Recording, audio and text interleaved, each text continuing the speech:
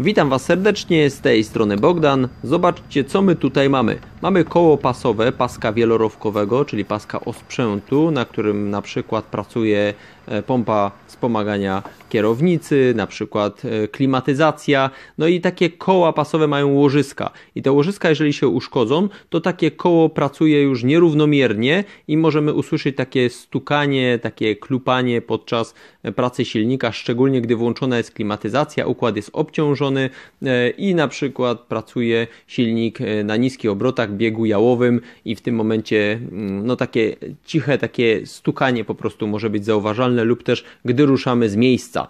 Jeżeli takie koło chcemy wymienić, no to możemy je oczywiście wymienić bez najmniejszego problemu, tylko warto zapewnić sobie łatwy dostęp. W tym wypadku, jak tutaj widzicie, wystarczyło rurę do lotu powietrza zdemontować oraz obudowę filtra powietrza. Jak wykręcić e, takie koło?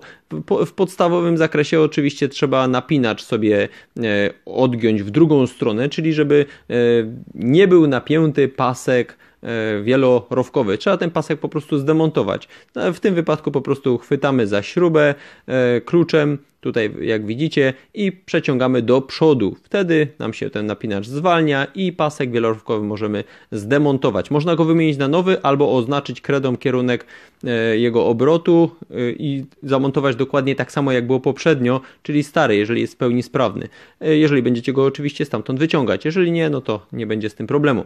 Jeżeli chcemy teraz to koło wykręcić, to kręcimy w drugą stronę, czyli śruba jest tutaj jak widzicie z gwintem lewym, kręcimy w drugą stronę i możemy wykręcić śrubę, metalową podkładkę, jeżeli występuje i całe koło. Te koło ma luz na łożysku i ono powoduje to, że coś nam tam stuka, że ten pasek już nie pracuje zbyt dobrze. No oczywiście zawsze jest y, też taka możliwość, że cały napinacz, który jest tutaj podłączony do tego koła, w zasadzie koło już wypieliśmy z napinacza, też może być uszkodzony, ale tutaj akurat wyraźnie widać, że jest luz na łożysku bardzo duży y, i te stukanie dochodzi po prostu z tego koła, a nie z dolnej części z napinacza. Takie koło być może nie będzie dostępne do zakupu w hurtowni, w sklepie bezpośrednio do tego y, albo do dowolnego samochodu, może być na przykład dostępny cały cały napinacz razem z kołem i może to kosztować na przykład 150-200 zł. Ale jeżeli chcemy kupić taniej, bo to jest tylko i wyłącznie problem koła, to możemy e, podjechać na przykład do hurtowni ze zdemontowanym takim kołem i sprzedawca dopasuje suwmiarką wszystkie wymiary, e, zewnętrzny, wewnętrzny e, i w tym momencie dopasuje po prostu koło, być może nawet z innego układu z innego samochodu, które będzie idealnie takie samo, z takimi samymi parametrami, z takimi samymi wymiarami i nie będzie problemu. U mnie właśnie taka sytuacja miała miejsce, podjechałem z kołem, koło zostało dopasowane i w tym momencie koło będzie można zamontować w to miejsce i problem ze stukaniem podczas pracy E, no po prostu samochodu, e, całego tego układu, osprzętu. Nie będzie tu żadnego problemu, szczególnie gdy klimatyzacja pracuje. Tak więc koło można bardzo szybciutko sobie samodzielnie kupić, wymienić. Sprawa jest tutaj banalnie prosta, myślę, że każdy sobie z tym poradzi.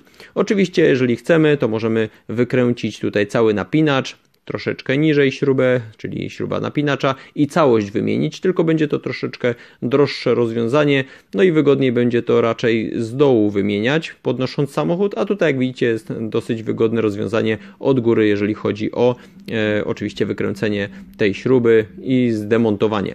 No dobra, jeżeli już koło będzie na miejscu, dokręcimy naszą śrubę, będziemy mogli e, oczywiście odwrotnej kolejności napinacz e, odgiąć, założyć nasz pasek wielorowkowy, no i naturalnie e, zwolnić ten nasz klucz tak, żeby napinacz napiął nasz pasek wielorowkowy i problem mamy rozwiązany. Znowu wszystko będzie pracowało ok, nic nie będzie nam stukać. Być może Wam ten film się przyda. Tego typu koła pasowe po prostu w różnych miejscach występują w Waszych samochodach. No i po prostu jeżeli łożysko Wam się uszkodzi, to coś Wam może zacząć stukać, czy też pasek może spadać. Z mojej strony to tyle. Cześć!